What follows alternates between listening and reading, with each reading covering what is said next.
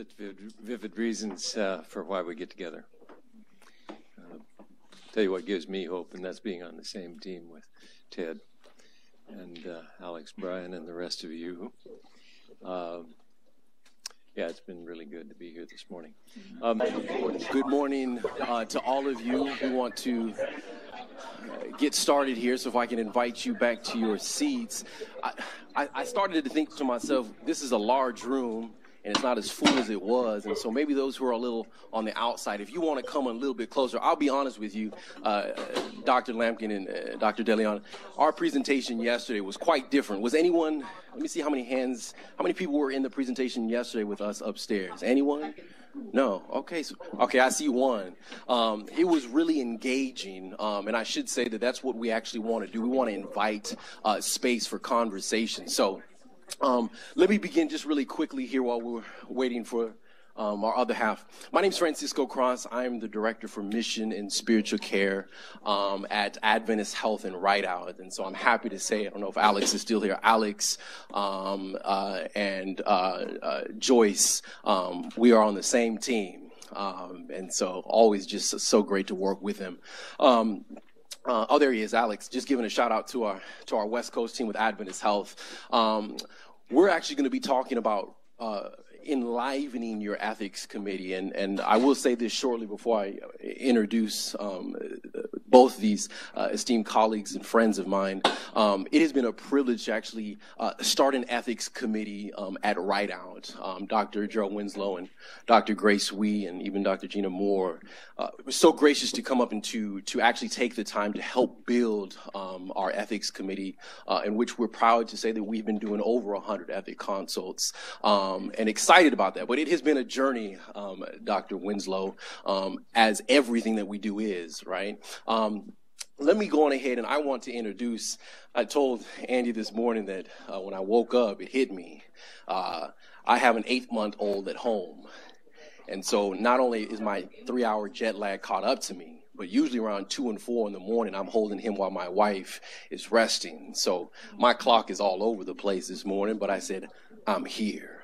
So I'm actually going to read um, the bios this morning because I want to make sure that I stay uh, on track if that's okay.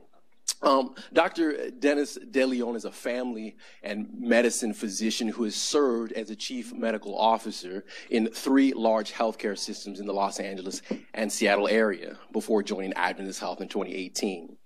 He completed his medical training at the University of Tennessee. Following residency at Loma Linda University, Dennis had the privilege of studying clinical medical ethics at the University of Chicago. He helped establish the first clinical ethics consultation service at Loma Linda in the early 1990s. I didn't know that. That's actually quite amazing. And Dennis works as the chief medical officer right here at Adventist Health Kissimmee and co-chairs the biomedical ethics committee at Adventist Health Orlando. He is the father of three teenagers and one Maltese puppy and he loves cycling. Andy, I want to begin by saying this. I said it yesterday and I'll say it again. He has been, we've known each other now for 20, 20 plus years. For he first met me, I first met him when I was just a lad at Oakwood University. Just a lad trying to find his way. And I found my way, but I found my way largely because of black men in my life, my father, and people like Andy who have taken the time to really mentor me professionally um, personally, my personal life. And so I just want to say thank you, Dr. Andy Lampkin, for sharing that. It's an honor and privilege to share this space with you. But let me just, uh, for those of you who don't know him, I do want to do serve justice and read to you a little bit about Andy. Andy Lampkin is native of Chicago. Chi Town, yeah. woo, woo. Yeah, we got a little shout out over there, right? Um, yeah. and, and, he's taught uh, theology and bioethics um, for over two decades. Um, he completed his undergraduate work at Oakwood, um, our alma mater university, and earned his master's um, his master's and doctorate of philosophy from Vanderbilt University. We have a few of those uh, in the house. Um, Dr. Lampkin is a professor of religion at Advent Health University in Orlando, Florida. As he engaged scholar, in addition to his teaching responsibilities at Adventist Health University, he serves at Adventist Health, at Advent Health. I'm sorry, I'm getting confused. They're so close. At Advent Health, um, Dr. Lampkin is a minister who loves to do what he does, and you'll see that. And I hope that today um, you are inspired by what they are going to share. Um, Dr. DeLeon, you said it, and I'm going to turn the mic over to you all. Um, ethics is already happening. Ethics happens where ethics happens. It's a very raw and natural conversation that's happening already with many of you. Uh, I don't know how many chaplains we have in the house. I know we have a lot of administration, but ethics is already happening. So we hope that as you're hearing kind of uh, this this um, this informative, engaging uh, conversation, that you're empowered to know that you already are a part of those conversations. And maybe if you haven't started an ethics committee, or if you're not sitting on an ethics committee, you can truly, truly be encouraged to know that today, after this, uh, you'll have some skill sets and some knowledge that will take you there. So, Dr. DeLeon. Cisco, thank you so much. Thank you. Kind introduction and setting us up. And um, you, you, couldn't have said any better. Um, ethics, uh, today we're talking about ethics committees, and um, we will focus quite a bit on um, how an ethics committee gets started if you don't already have one, um, what that beginning might look like, what the beginning, the middle, and the mature stage of an ethics committee uh, looks like. Um, but uh, a good place to start is to remember exactly what you said, Cisco, because an ethics committee is but one place where ethics might happen. And in all likelihood, whether you have an active ethics committee or not, ethics is going on at your facility, at your institution right now already. And it's going on in places that you may not, we may not remember and imagine that it is. So if you have a physician's lounge uh, where docs get together to eat, there's ethics going on there. There's conversations, there's dialogue, there's agonizing colleague to colleague, uh, um, comparing of notes. That is everything that we're going to cover today as ethics activity. That's happening. Um, if you have um, colleagues multidisciplinary physicians, nurses, chaplains, social workers, case managers making rounds on a unit where terminal, terminally ill patients are being cared for. Ethics is going on in those rounds, whether we call it that formally or recognize it as such, or whether we don't happen to. Um, ethics can be going on in the parking lot chatter, right? After a long shift, and um, nurses are huddling comparing notes, um, commiserating.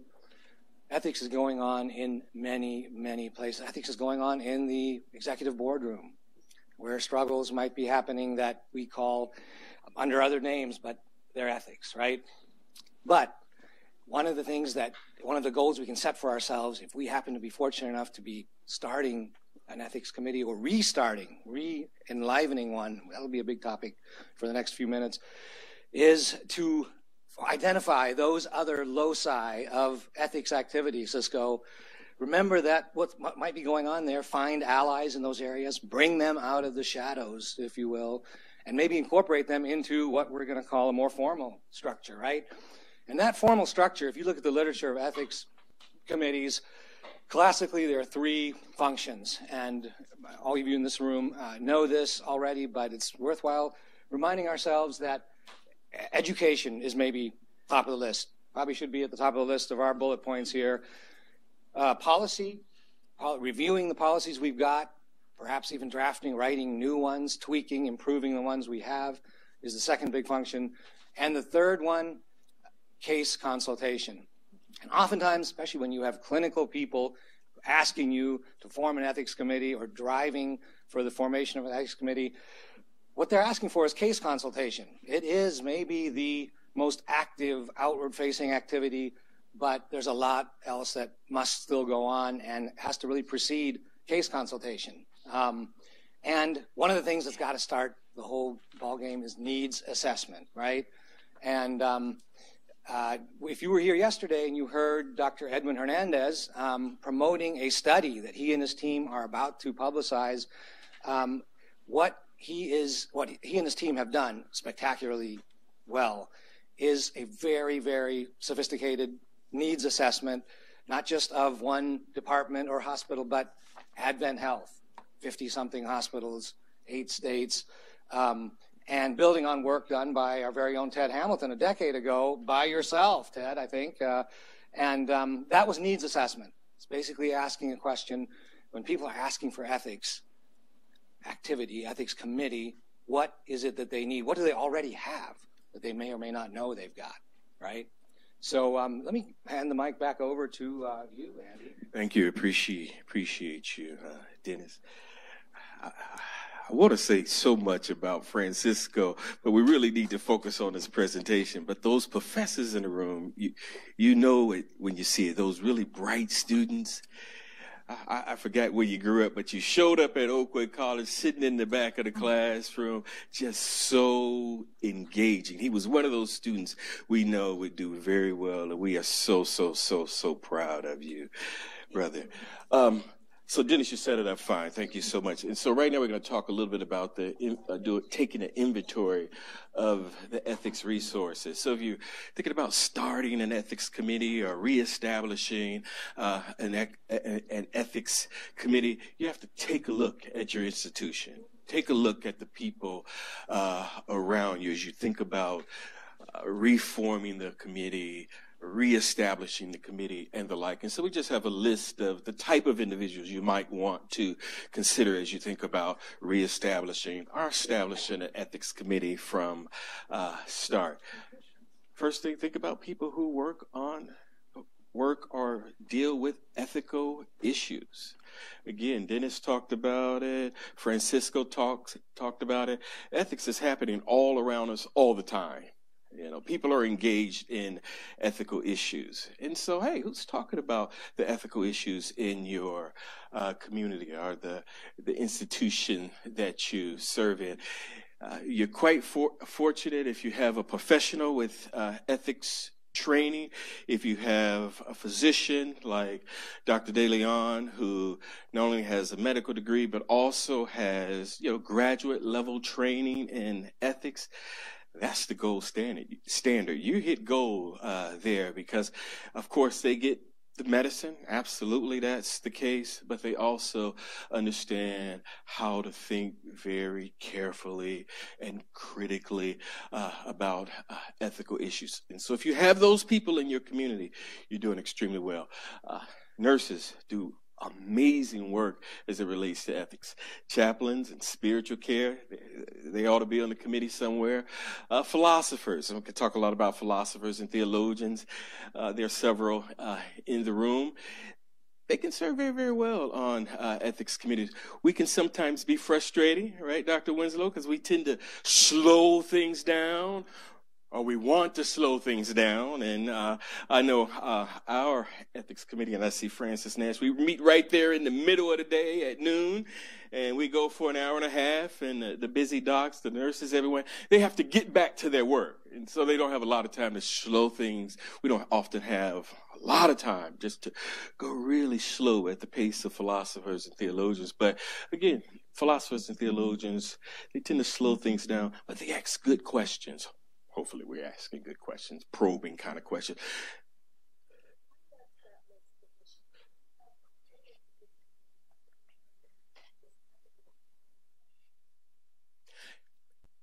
Thank you for sharing. Goes without saying. Absolutely, absolutely. Again, uh, physicians serve very, very well on ethics committee. They ought to be on ethics committees. Absolutely. Uh, oftentimes we would commend that the physician, uh, physician should be the chair of the ethics committee. And we're going to talk about that in greater, greater detail.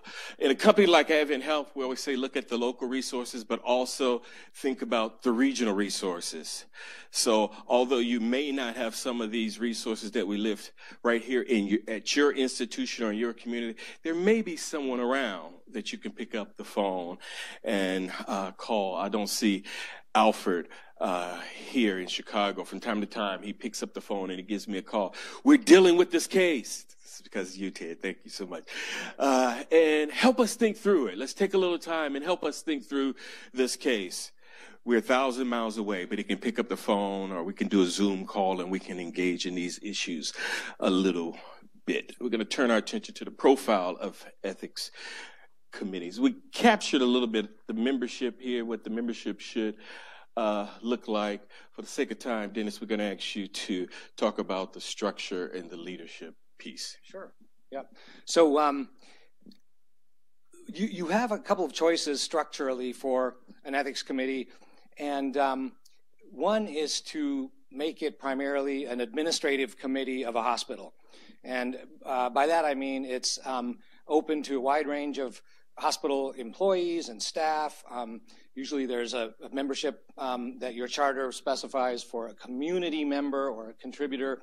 Um, but the accountability is largely to the administrative leadership of the hospital. That could be the chief operating officer, the CEO, um, and that uh, that has a bunch of uh, structural advantages um, because the accountability goes to somebody who's the boss of the hospital. Um, there's also the option of making the committee largely a medical staff committee, meaning that it is um, appointed by um, election or appointment amongst the physicians who voluntarily practice at that hospital and who are their own legal entity, right? And um, there are advantages that come with that. And one of the ones, as I'm sitting here looking at our uh, executive director, Francis Nash, is the fact that a medical staff committee can structure itself so that it is, is protected legally um, with a status uh, called um, patient safety work product status. And so that simply means that work done in that committee, charts reviewed there, confidential medical facts um, looked at, um, are all in the service of patient quality and safety, and therefore enjoy in most states a legal protection from legal discovery by attorneys, including plaintiffs' attorneys who might be seeking um, adversarial action against hospital or physicians, right? And so there is a protection. Now, that protection is, in, especially in Florida, somewhat debatable and tenuous and uh, under uh, some scrutiny and attack even, but um, what protection there is is becomes available to you if your committee is structured as a med staff committee. And then there's a combination, which is a hybrid, and that is to make it both an administrative committee with administrative accountability and a medical staff committee, which is accountable to the elected chief of staff physician. And um, most models I've seen that work really well and stand the test of time are, in fact, hybrids. Um, so um, that's important, and much can be said about that, and the literature has got a lot of contributions for you if you're more interested in that. Um, I was wondering, just going back, to Cisco, you are the guy with the experience, recent experience, building up a committee in a, you know, about 180 bed hospital in rural Northern California. As you recruited folks, were you able to find the kind of um, talent that you know Andy referred to in the last slide? No, thank you for for inviting me to to be a part of this conversation. That was actually one of the challenges that we had, and I've said this in so many ways. Coming from a, a LLUH, Loma Linda University health system, um, to a small rural uh, uh, uh, community, Marysville, California, just north of Sacramento. Um, our resources were a little on the lower end. But what I will say, and you said it so eloquently yesterday, is that ethics is already happening. The conversation is already happening. So my task was to really seek out those individuals who already had the passion and the heart for being a part of these conversations and essentially being an advocate. Um, and so we ended up using kind of that hybrid approach uh, that Dr. Grace Wee um, shared in her presentation uh, where we really felt that um, because of the, the, the population that we were in, a third population Sikh, uh, a, a, lot of our uh, physicians who were contracted out, it, it, was it was this paradigm shift where Adventist health was just actually marrying Rideout, and so not only were we starting an ethics committee, but we were actually uh, learning to now give birth to this culture being a faith-driven organization. And so again, we had those people already. And so we picked a multi-interdisciplinary team that included uh, our chief medical officer, who happened to be um, the, the, the, the, chief um, chief champion administrator representative, along with all of the other, the case management, the social worker, and the chaplain. I think that is where we found that there was a unique conversation that we had because, again, because of the lack of resources, there were many who weren't used to having those very difficult conversations. And so we did a lot of emphasis and how do we have these very challenging uh, conversations and how do we bring everyone together to be a part of this movement? Um, you asked about chairmanship of the committee, right? And so in our hybrid model here at Advent Health Orlando, Francis, um, I think you helped set this up. Uh, we have uh, two, uh, co-chairs, actually, a, a, pair of co-chairs, and one is an administrator. That happens to be me. Um, I'm a physician not currently practicing, and the um, clinical co-chairperson is um, one of our longtime surgeons here, Dr. Joe Portoghese, um, who uh, represents the medical staff and is also a medical staff officer. So the accountability, I think, um, effectively goes um, in two ways for the good of us all, I think. You actually captured that point about identifying the leadership roles. I will ask you to speak a little bit more on that. But when we think about establishing a, an ethics committee, ideally the committee should represent the community that you're actually called to serve. We believe that, and the literature actually suggests that. So you look around your community, your committee, your committee should look like the community that you're actually serving. Uh, it's good to have a mix of professional, lay, ethnic, racial, as well as uh, religious and socio-economic diversity on uh, the committee. We had a lot of discussion around this uh, yesterday, actually, some of the challenges that come with that. And as you can imagine, there's some challenges there. But again, ideally, if you can have that kind of representation on your committee, you would be doing very well because all of those individuals will bring different perspectives, different perspectives to uh, the ethical issues or the uh, the dilemmas that surface in the clinical encounter. And again, the role of our hospitals, the role of our institutions and community is to serve those communities, and our communities are diverse. And so, our committees and our institutions and its leadership ought to be uh, diverse as well. Cisco, I'll, just give you an example that uh, you gave in your hospital that you talked about in Northern California. There's a large Sikh population. You know, when we think about religious diversity, most of us are very comfortable with the, the various Christian denominations. We're even comfortable with our Muslim neighbors and, and, and friends, of course, our Jewish friends. But when you start talking about uh, the Sikh religion some of the Eastern religions, we're not as familiar. But they have perspectives, they have ideas, and we want to hear all of those ideas. Ideas about when does life begin, and we're going to talk about that. And when does life uh, end? And the ethical issues, you have to bring all of that kind of moral rigor, that's what we call it, that moral rigor to bear as you think about those issues. Do you want to say a few more words about uh, the identity of the, the various leadership's role, or are you comfortable with what you, what you covered? I think we're good. Okay. Give us some insights into the East Orlando uh, experience and Ulrich Jesselab. Right. Yeah. So, um, one, um, Dr. Simmons was here with us a moment ago. He's the uh, was the chief medical officer at our East Orlando uh, facility, Advent Health. It's just maybe eight or ten miles uh, east of where we are right now, and um, uh, historically an osteopathic hospital, um, maybe in the uh, size range of 300 beds or so. Um, and um, an interesting thing happened a few years ago, and that is that a a subgroup of physicians, mostly hospitalists, internists, a couple of ED docs, were struggling with um, what amounted really to ethical issues, although it wasn't really recognized as such early on, but issues with the patient population that they saw coming through their ED, um, a preponderance of, of, folks who were uh, had substance abuse problems, um, opioid addiction, some of which was um, iatrogenic or physician caused. Um, there were also struggles with um, psych, psychiatric comorbidities, uh, patients who had eating disorders or suicidality that manifested in, uh, in um, very, very dramatic ways that were impacting the community. And the patients who ended up admitted um, faced ethical problems, their teams faced ethical problems around when do we accede to someone's uh, refusal to not uh, refusal to be fed artificially. They have an eating disorder, right? When, what's the line between competency and incompetency for someone who is uh, has a severe eating disorder, life-threatening? Um, how do we handle um, the un, unfriended patient who is terminal because of um, an event related to their opioid addiction. They have perhaps friends in the community. No one's willing to be the decision maker. Um, and these docs realized we would love to have an ethics committee. And they approached um, several of us, including Jason Hines and Andy Lampkin.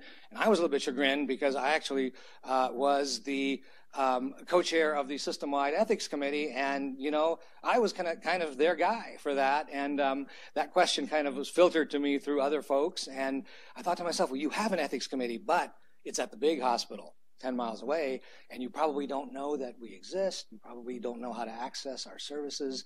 And that made me uh, feel a little self conscious and realize education was needed.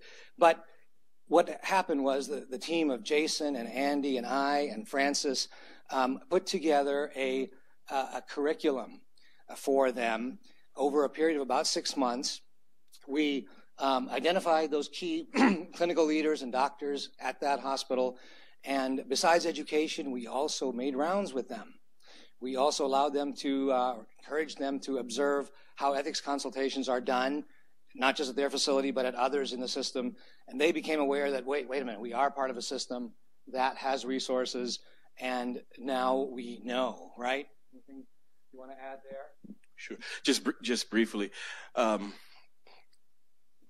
the, the, the basic education that was provided to that uh, co- committee over those six months, just an orientation to uh, ethics committee work, what ethics work look like in the committee uh, beyond the hallway or again in, in, in the dining uh, hall, for instance, purpose and function of the committee, the various roles and responsibilities of chair, co-chair, uh, the recorder, and the like. And of course, one area that I enjoy tremendously is the basic bioethics uh, education, just giving them a glimpse into uh, what bioethics uh, is and the kind of discussions that are had in uh, bioethics, what it looks like more uh, formally. Dennis did a, a, marvelous job on giving us insights into clinical ethics. So bioethics and then clinical uh, ethics. Bioethics can be very theoretical, but clinical ethics, of course, is trying to put it on the ground and relate to the issues that the providers are actually uh, facing some discussion. We had a good bit of discussion around the typical cases that I reviewed. Uh, Dennis talked about uh, the East Orlando context and the types of patients that they see and the experiences of uh, various patients. As you can imagine, um, those patients show up with their issues, with their uh, concerns. And sometimes you see typical cases. And so we gave some insights into the very, very typical cases that we often see. Um, because if you've seen it once, you have some insights into how to think about it. And then some discussion about the institutional uh, values. You know, we're a faith based uh, institution, and we have to bring our values to bear as we think about our uh, work and what we do. I'm gonna move to the curriculum uh, now. Sure. Just a question, just to interject on that slide previous. Um, I love the emphasis that you all have made on training that focus on clinical evidence. Um, and I just want, I wanted to push a little bit more because uh, at one of the conferences, um, uh, no, you're okay. Uh, one of the conferences um, at the ASBH, American Society of Bioethics and Humanities, uh, Penn State, I believe, was given the presentation, and some of you may recall who were there, um, where they did an exercise, and maybe this is something you already do. I know it's something that we do uh, as we're figuring out what discussions should we be having. Um, it was just like this, and they had round tables, and and what we didn't know is they had a packet flipped upside down where you couldn't see the content, and they said, "Don't flip it over, don't look at it." But then they did a breakout session, and maybe that's something we can think about doing in an actual presentation. They actually did a breakout session, and what they did is the people sitting at that table, that was your uh, healthcare team, if I can put it that way. And to my surprise, I think I was sitting at a table with CEO and a few other individuals, um, a physician, I think one of them was a, neuro, uh, a neuroscientist, and uh, a lot of contributions to his hospital. But when we flipped over the packets, they soon found out their script, their role of who they were to be in. One was a, the, the, the, the physician was um, the chaplain, and, and the other one was a patient. And, and, and then we were to role play, Carla. We were to role play. And let me tell you, I was shocked to hear that we had so many years of academic training hear me, hear me, hear me clearly. But yet we weren't prepared to have these conversations. And how do we have those conversations? The truth is, for the chaplains, uh, Wookie and some of the others uh, from Oakwood, um, uh, the, con- the conversations that we are now faced to have, we can only face them if we're comfortable with being uncomfortable. And that's what we've been done. So I love, I love to see that, and maybe that's something we can do. Francisco, bring up a good point. Do you remember, Francis, that we did um, simulations and we did uh, uh, scripted and unscripted conversations in the East Orlando um, curriculum, and it's exactly what you were saying, making helping clinicians to be more comfortable with the topics they were going to discuss and seeing how you can go right and wrong. Francis.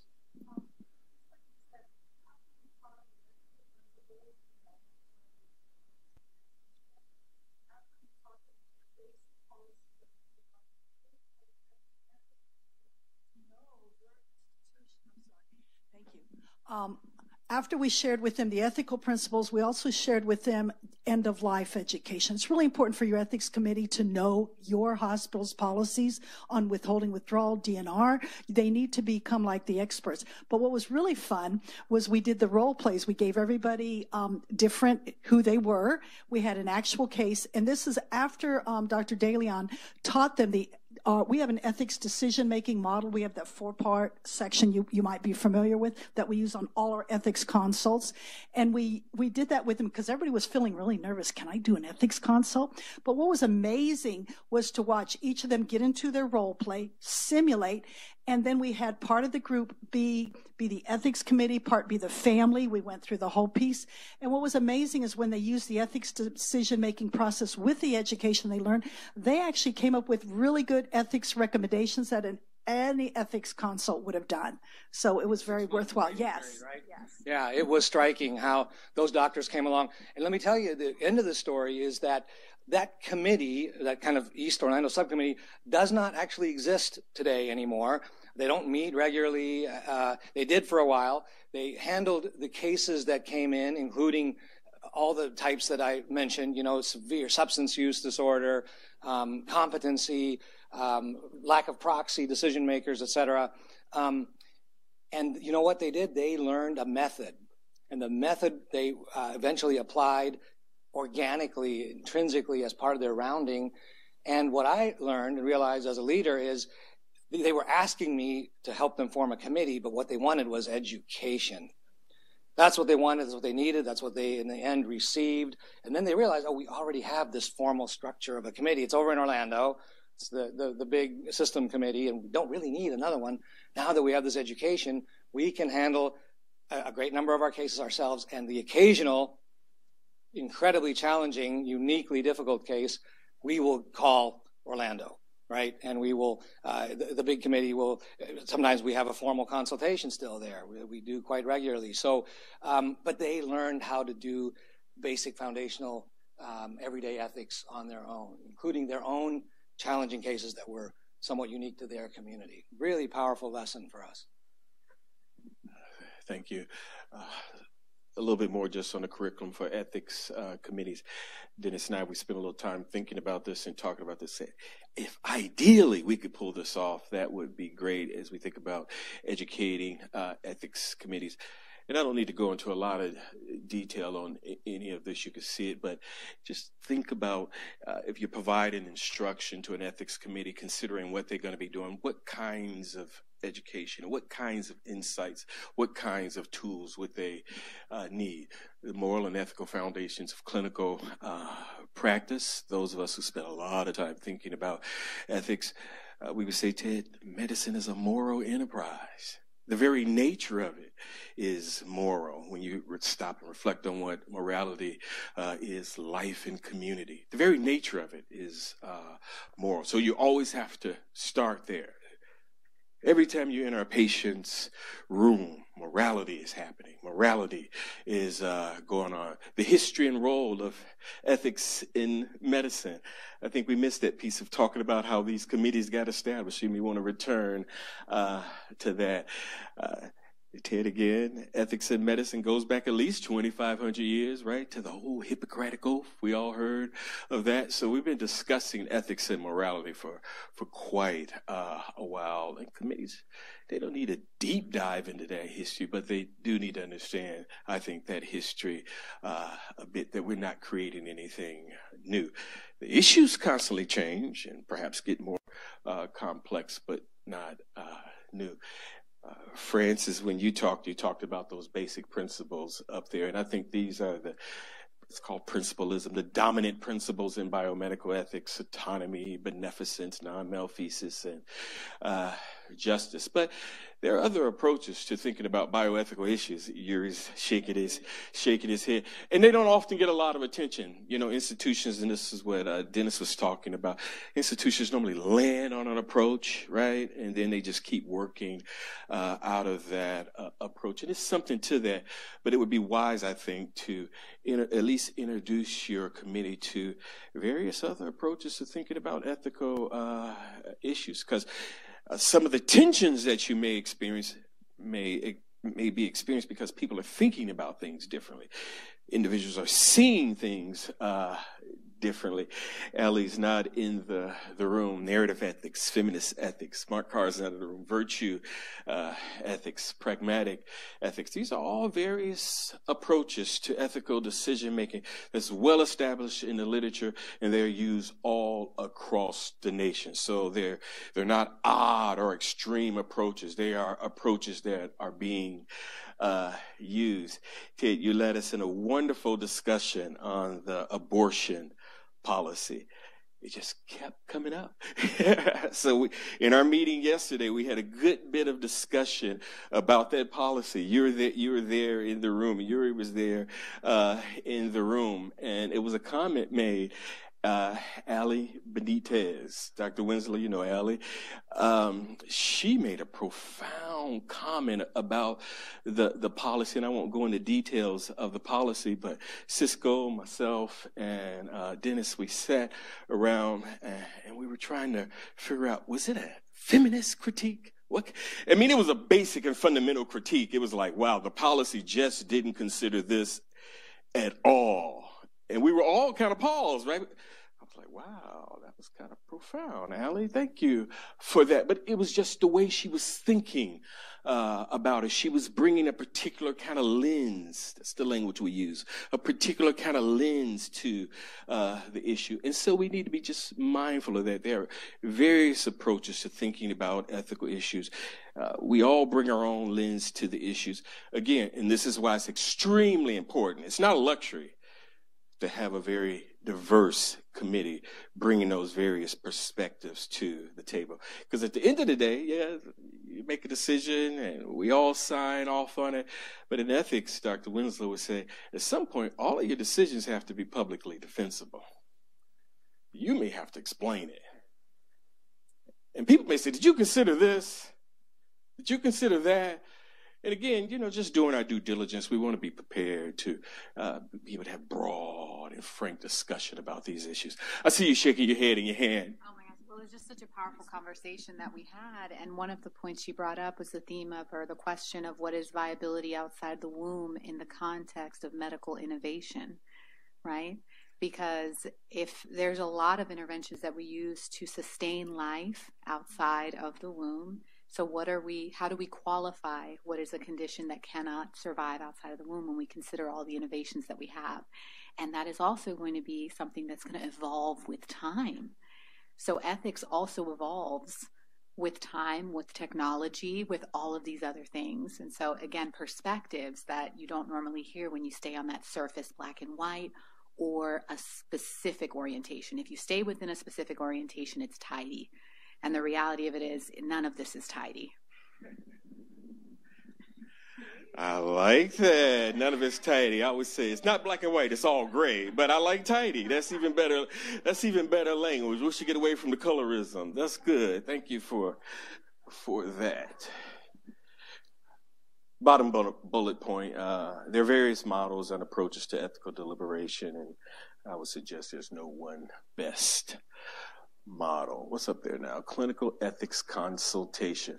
Please talk about credentialing a little bit and uh, the various models. Yeah. So, um, the American Society for Bioethics and Humanities, Francisco, you mentioned them earlier. You're a member. Many in this room are members and leaders. Um, Dr. Grace Wee and others at Loma Linda are, are certified healthcare ethics um, consultants. That's a certification that's become available just in recent years. It is a powerful, powerful tool, highly recommended, um, and the product of incredible design and deliberation over many decades. Actually, I'm on a journey to um, to uh, uh, that certification as well, and many of you, I'm sure, are. And you should seek out people who are um, or are getting certified in those areas because they will have the kind of education um, that uh, speaks to many of the things we've just talked about. So I want to put that plug in for ASBH and for uh, healthcare ethics uh, consult certification. Um, Cisco, you built up a committee that's now doing consultations, and a significant number of them in a fairly, you know, in a medium-sized hospital. Um, there was probably a time when you faced um, some design choices, either consciously or or, or um, not, but um, you had to kind of figure out was one consultant going to respond to um, a bedside request, go see a patient, talk to a family, convene a meeting. Um, that's very common because you know in most places you only got a handful of people who are trained or comfortable to do a, an ethics consult. Uh, if you've got more than that, you can have a team. You can have a subcommittee um, that of the main ethics committee.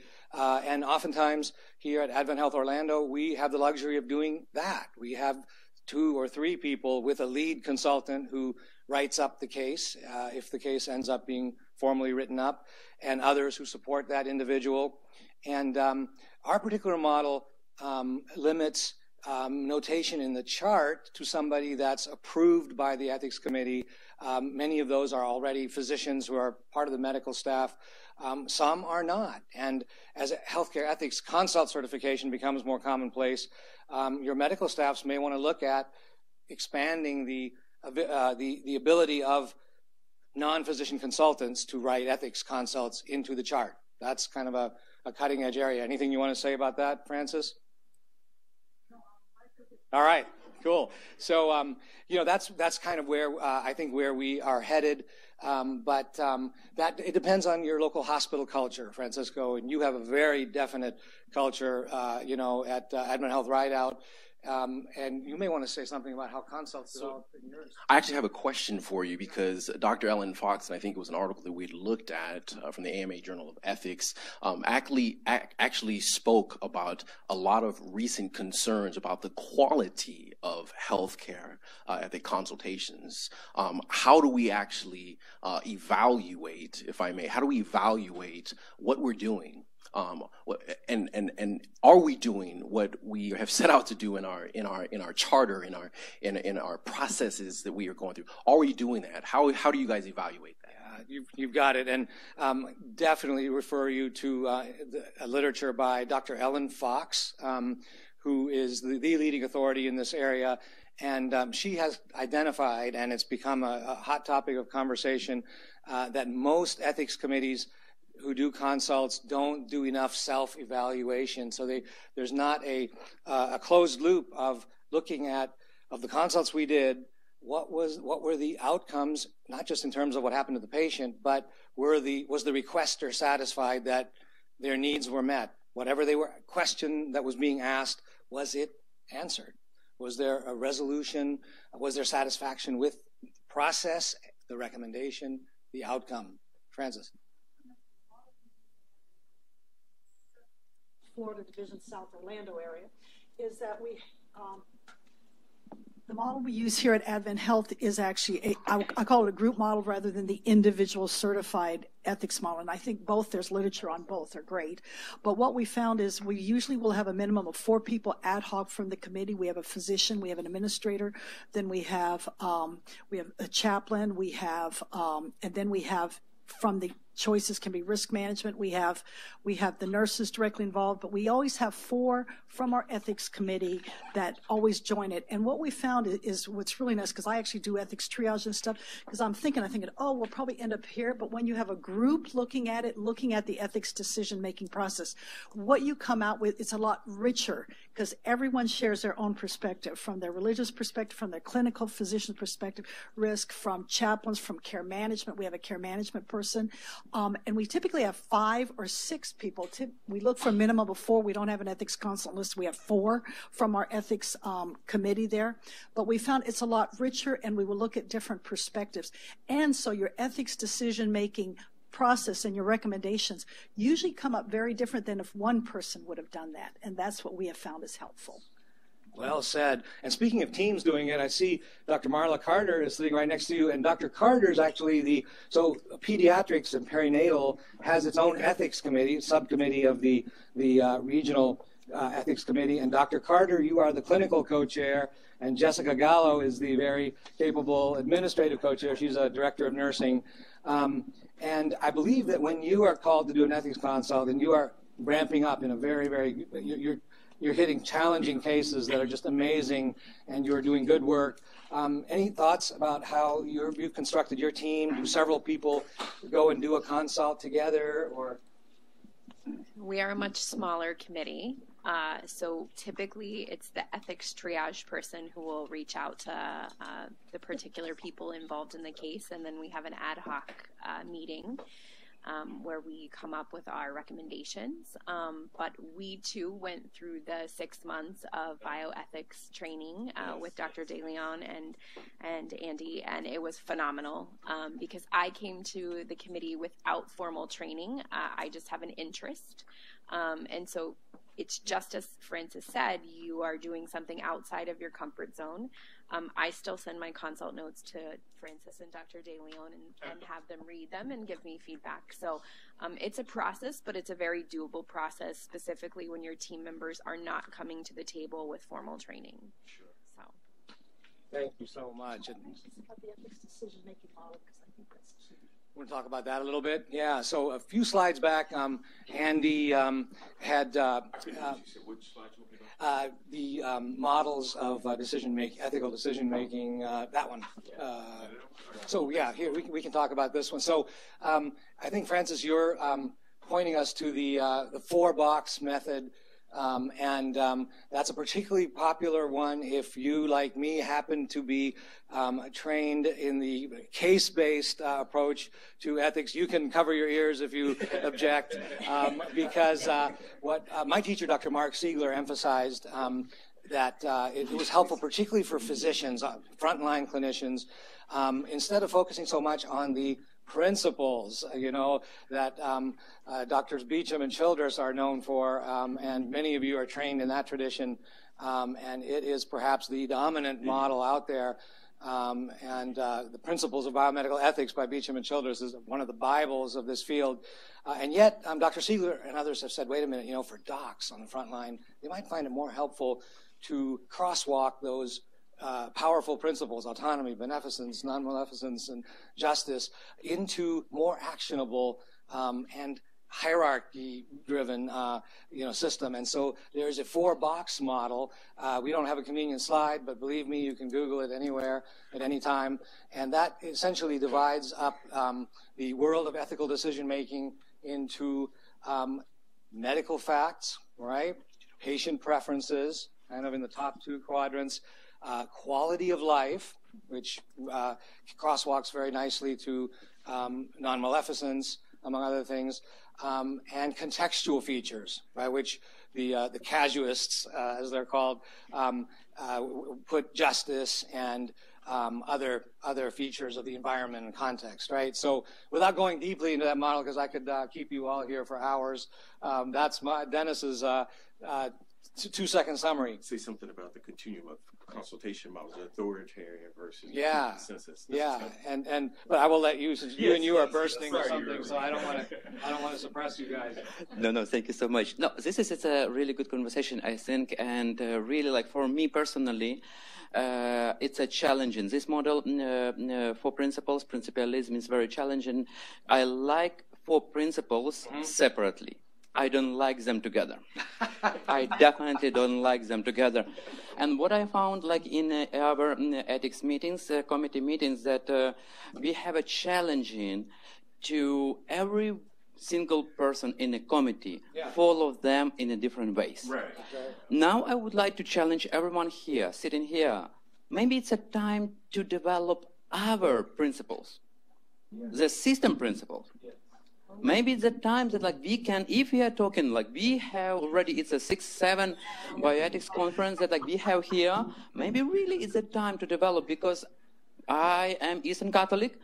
I have a privilege to work in Adventist healthcare system for six years, and I pretty much from the ethical perspective, I see this principlism is not follow the uh, face of Adventist uh, uh, Adventist faith. It uh, uh, doesn't follow with uh, doctrines and it doesn't cover all this stuff.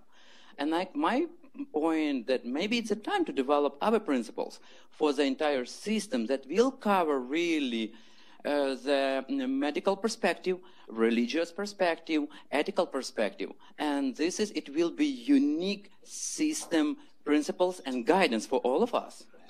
I love it. I love it. You know, yeah, there's uh, an old Jewish saying, you know, that um, uh, it's great to read about, um, you know, uh, our people were liberated, uh, you know, in the Exodus, um, and um, and yet if if it wasn't you that walked through the sea, if you did not internalize, if you did not make that principle yours, then you don't. It's not really you don't own it, right? It's somebody else's that was just kind of lent to you or given to you. So yeah, if if you take the principles and you read about them and you sit in a class with uh, children, that is one thing. It's quite quite powerful. But what, how do you make it yours, right?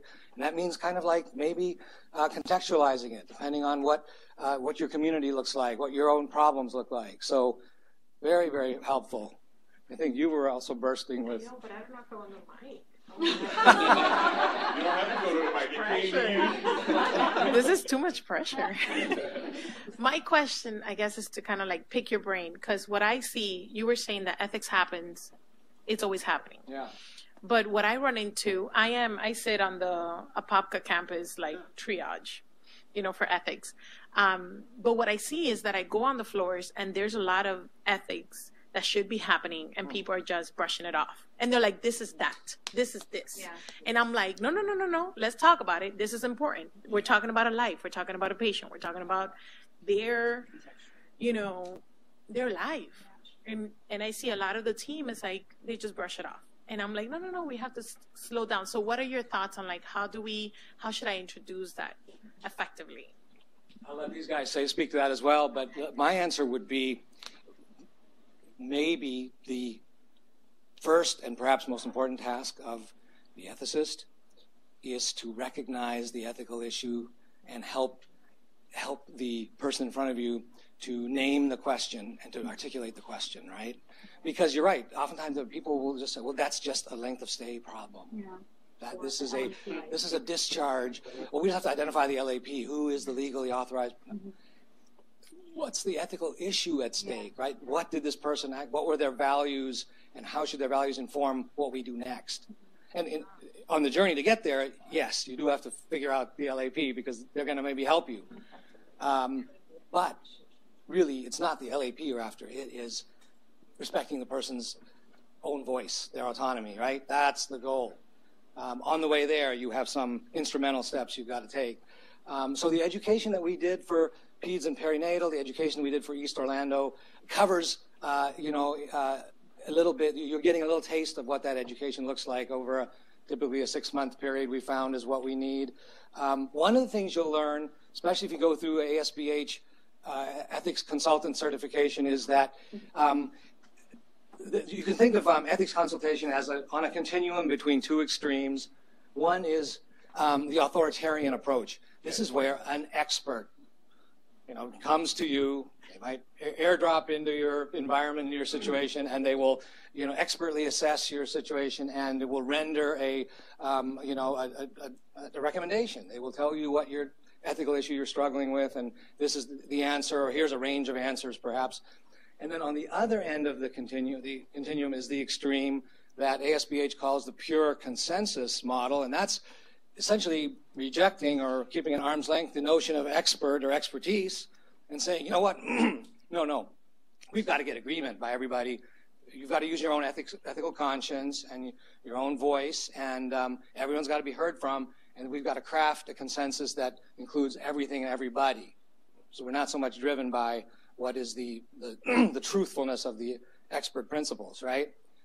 And they recommend, as you can imagine, um, that Solomonic middle, right, where uh, no, it's not pure consensus, and it's not authoritarian either. It is what they call the, the uh, facilitated ethics process, where we actually do listen to the experts. We do uh, uh weigh in on the principles, um, but how do the principles apply here, right now, in this case? Not that case there or that case, but this case right here, right? And that's kind of the marriage of the um, casuistry and the principles, if you will. Um, and you'll learn that when you do your ethics uh, consultant certification.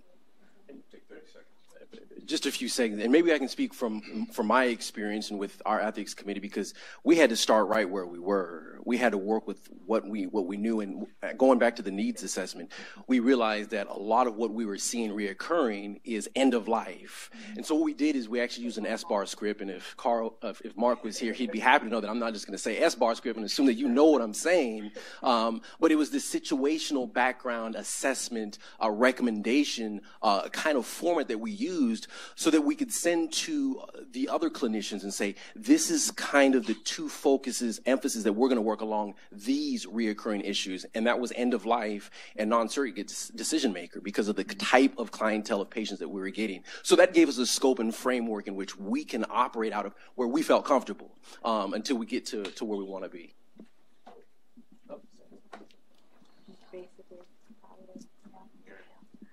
Um, yeah, so uh, a question, but also just a little background of, of my context. So right now, where I'm working, there's four full-time ethicists, and our model is is, is you know there's a delicate line that I think we're balancing um, because what we've struggled with in some ways is how do we how do we express our role in such a way that we we take an advisory role, right? Like this is our recommendation. You don't have to take it, um, but I think there's some circumstances that we end up discovering or something that other people need to be involved. Like you know, it goes to peer review. There's professionalism issues or risk management needs to be involved. And so I think my question is, how do you you know, embody this role in such a way that you're communicating that we are here to support you. We're here to support patient, family, staff. We're not the ethics police. We're not here to get you in trouble, even though we have relationships, right, with all of these administrative stakeholders. Um, how do you facilitate that kind of messaging? I'll pass it back to you, Dr. Daly. I'll take 30 seconds. Yeah. Um, I would say recognize those other disciplines that need to be involved. Francis, how many times do we say, you know what, um, this needs to go to risk? You know, an origami report needs to. Um, how many times do we say, you know, that is a very important issue. It needs to go to peer review, right? So, um, and in fact, there's a process called ethics triage that attempts systematically to do exactly what you just laid out. What you're already doing, ethics happens where ethics happens which you're already doing, you know, on a, on a small scale. Um, we try to do on an uh, organized, larger scale by ethics triage.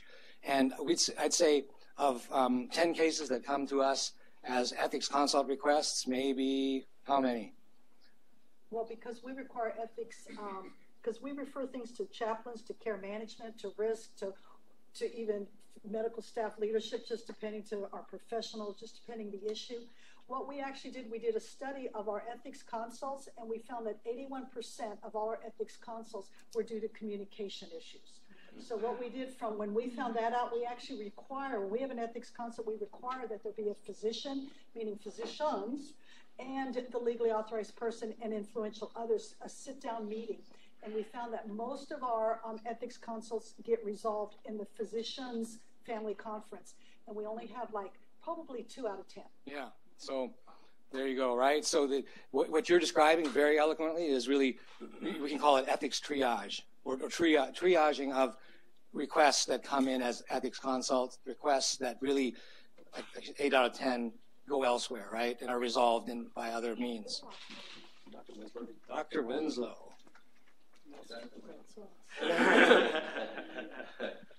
well, I, I want to first of all thank all of you. Uh, we still have a little time um, for such a rich presentation, and also those of you who are contributing from yes. different places. You remember that little kid in the back of the classroom in first grade or whatever always had his hand up. That that would have been me. And uh, you know, I know, call on me. I've, I've stifled myself to, to, not do that, so I didn't put my hand up. I do want to say this. I thank you for recognizing that there are different approaches that work.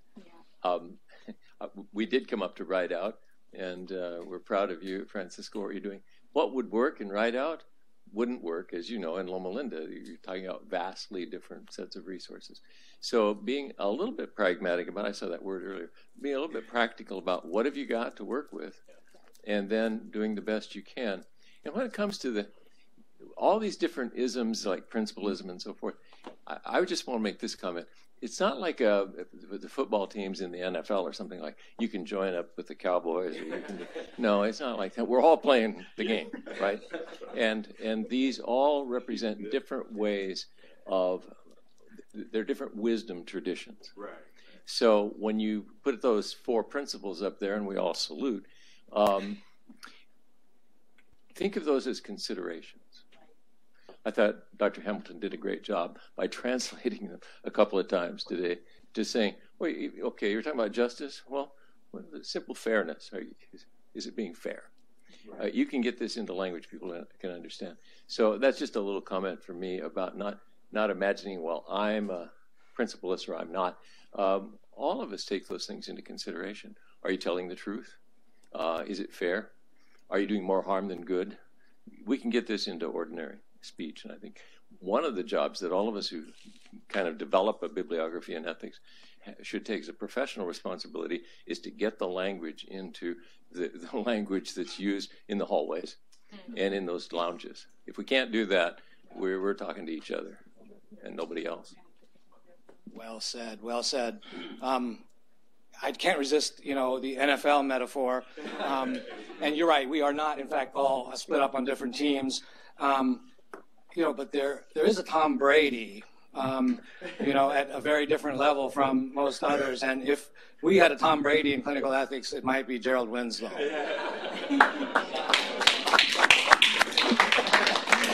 Excellent. We have just a, a, a few more uh, minutes. I'm going to what we call an academic speed. Just run through the slide really, really quickly. The goal of ethics education is to move beyond uh, the ethics committee into the larger community. One of the functions and one of the roles of uh, ethics committee is to provide uh, eth- ethics education to the broader, to the larger hospital community. Community. This gets at your question. So, and Dr. Winslow just said it so well. The role of those of us who do professional ethics is to help the community use that language. And so, hey, then you go into the hallway. Have you thought about it this way? You push them a little bit on that. But the role of, um, at least in the literature of ethics committees, is to provide some broader ethics education within the hospital context. Uh, as well as provide some ethics education for the larger community that we're serving out there in the world. And so they recommend doing some of these kinds of things, the ethics grand, grand rounds we would do them monthly at Loma Linda, if I'm remembering carefully, uh, uh, Dr. Winslow. But you can you can read them. You can imagine the kinds of things you can do just to make ethics a part of the larger discourse that's happening in the community. To let the community know that this is what we're about. We should be talking about these things. We should be taking the issues uh, seriously. In the literature, they talk about creating a climate for ethics. And I think that's what we're trying to capture in the slide. We're going to reserve the rest of the time for any questions that you may have or comments that you want to make. Thank you. Hi, my name is Kate Gannell. I'm from Hinsdale Hospital. I'm a family doc. Uh, Dr. Lampkin and I had had some email communication. Yes. My the docs that come to the ethics committee in my hospital want to know: Am I going to be legally covered when I decline to provide the ivermectin, the fetal care, perhaps to to the point of ECMO that Loma Linda experienced? And my understanding in some situations is that legal will say, do the right thing, and we'll back you up. And some of my colleagues have not felt backed up. Mm-hmm. We haven't really experienced the legal muscle. At Hinsdale, we were fortunate to have Father Grogan, who was an attorney as well as an ethicist, and he was the archdiocese big person. And I mean no offense to Catholics. I'm I'm not a Catholic, and so I don't know the labels, but he was he was way up in the hierarchy, and he provided us with really robust legal muscle to help help docs feel that we weren't going to be hung out to dry when the legal legals decided that maybe this wasn't in the best interest of the hospital's reputation. So what what docs need is legal support that's robust, that's consistent with our values of the hospital of healing, and and we're not seeing it as much as we'd like. So on your ethics committee, please have an attorney that is responsible to the hospital. And please, please don't call me a provider. please don't call me a provider. Please recognize me as a physician. Thanks. Thank you. Any other questions? I know we're we are up for time. I see one more comment here. Let's... Um, because a little bit of what you were saying touches on the theme of also demoralization you know, as far as physicians, when they don't feel that maybe they can take any action, but they're clearly responsible for the patient's care, but they don't feel like they have the legal support or the support in general. And so that leads to the subject of demoralization and burnout tremendously. And another way that I see that exacerbated as related to the ethics triage is a lot of the times cases never escalate to this mm. beautiful mm. ethics consultation because they get eliminated out the gate by policy says it's LAP or legally. That's really the only course. So you never get the opportunity to have this robust and incredible coming together of minds. And that is tremendously demoralizing. Now, in the interest of positive reframe, case conferences and ethics grand rounds afford people involved in these cases to have that alleviation of that burnout, to get to process the cases in the way that would have happened had there been a formal consult. And I know for me, that's something that I wish we did more of that because, I mean, throughout all those ECMO cases, literally every one of them, if we had had ethics grand rounds, that would have, the, the showing of people for that alone you know, to, to experience, just getting to process and normalize like this was ethically difficult and, and all of that. So I really, since we all do care about burnout in this field, if we could, if nothing else, promote ethics, grand rounds, and continued education in our institutions, because that might alleviate a lot. Have you used Schwartz rounds? Yes, okay. but I haven't seen, them, you know, with the pandemic as well, everything's on Teams, you already know. But I haven't seen one that said ethics that use these frameworks and everything we do in the in the ethics committee meetings okay. you know, in a long time and it, it just seems like it would be a great opportunity yeah for emotional closure of yes. a very um, you know um, moral distress or emotional distress in your staff um, whole person care rounds or schwartz rounds are sometimes we don't have them on our list there andy but maybe we should you know um, that's a, a, very powerful tool i work for a very um, ethics oriented uh, organization. And we have the principle established in our hospital or in the hospital that I work for no ethics consult is stupid enough. You can ha- call for a gut feeling, and it can the janitor, the nurse, the family, the patient, the physician, anybody can call, and we react within two hours. And uh, I'm one of the consultants, and so we sit there and we connect all the pieces. Our role is to go and connect the pieces, and then we bring it together. We make a consensus, uh, and we do do briefing. So when we have new nurses come into the hospital, they get a training in ethics. When we have new physicians come to the hospital, they get a training in ethics. I would recommend it. I know we have gotten into the lunchtime, and if I learned anything in my younger years, you don't take the time away from the saints to eat their meals. And so we want to do that, but I want to leave you with these quick three questions as we land this. Where are you?